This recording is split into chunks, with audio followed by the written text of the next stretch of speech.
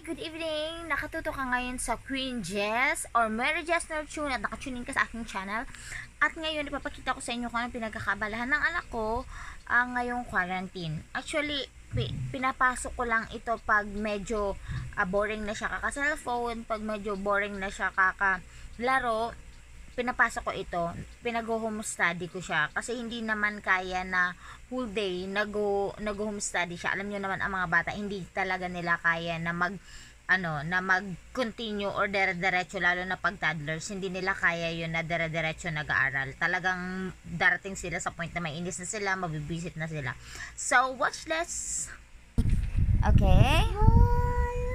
Umupo ka ng maayos po para hindi po mahirap.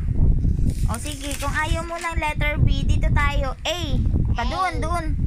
A. Oh. Oh, itong maliit. A na maliit. Oh, very good. Next. B. Oh, maliit na B. Very good. Ang galing pala eh. Next. Oh my God. Letter C. Mo na ito. Oh. Hindi mo pa pala natapos yan. Oh, ito oh, letter C. Go. C. Ayusin, anak. Ayusin.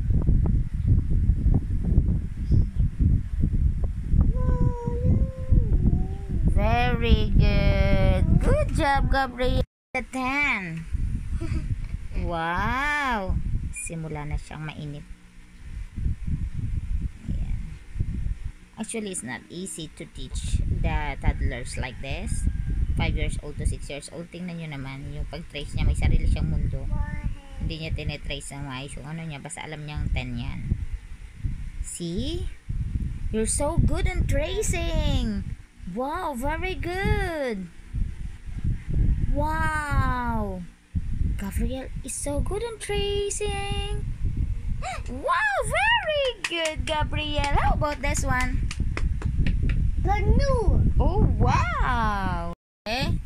What's this? One, two, three, da, da. Five. Very good. Next. One, two, three, da, da, chi. Next. One, two, three, da, da, chi. Da, da. Seven. One, two, three, da, da, chi. Da, da. Eight. Eight.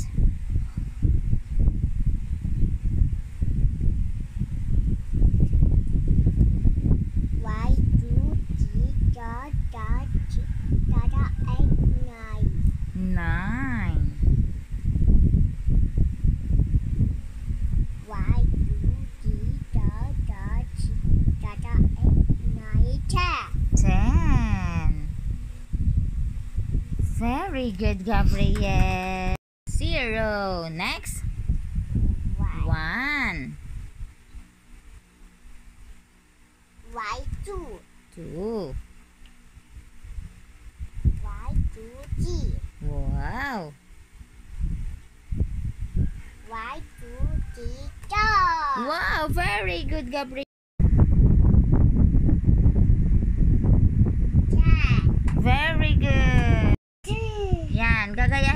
Gagayahin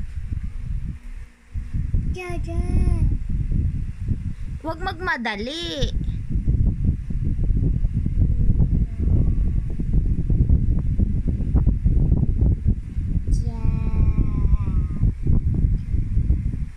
Ah, Wow, very good. Again, here.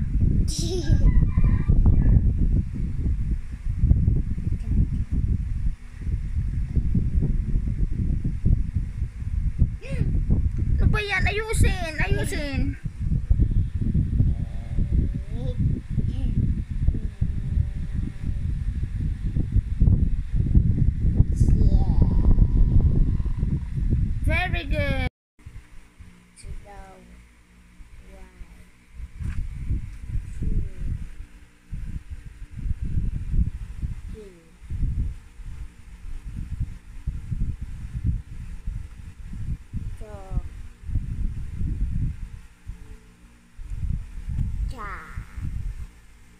Very good. Trace this. Go, go, go. Trace. Ayusin anak, ayusin ang pag-trace.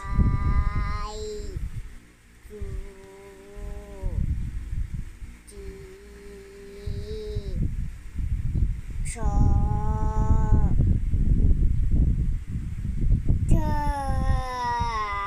last row. Gayahin dito, last row. Ilapit mo sa'yo, last row.